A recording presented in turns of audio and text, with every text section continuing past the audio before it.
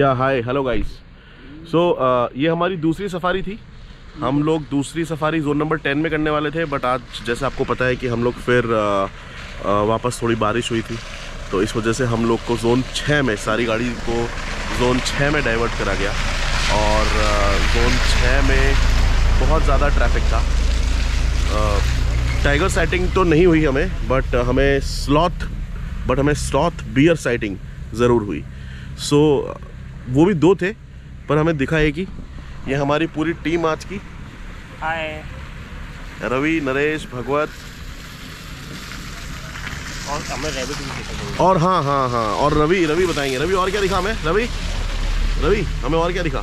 जैसे हम सफारी को एंड करके वापस निकलने की तैयारी कर रहे थे तो रास्ते में चलते समय मेरे को रैबिट दिखा जंगली रैबिट जिसको देख के हम बहुत एक्साइट हुए। मैंने मेरे कुलीग को बोला कि रुको रुको रुको रैबिट आ गया। तो आ, कल सुबह मॉर्निंग में हम आपको फिर जोन नंबर एक में है हमारा और जोन नंबर एक में जाकर के कल सुबह फिर एक कोशिश करेंगे। आप देख सकते हैं मौसम। अभी भी बहुत ज़्यादा ओवरकास्ट है। बारिश हो रही है। ये हालत देखिए। जंगल में अंदर हालत देखिए। और आ, तो हम लोग सुबह भी पूरा भीग गए थे वापस सूखे अभी भी ऑलमोस्ट 50 परसेंट हम लोग भीग गए। But we will again bring you back some good memories चलो ऑल द बेस्ट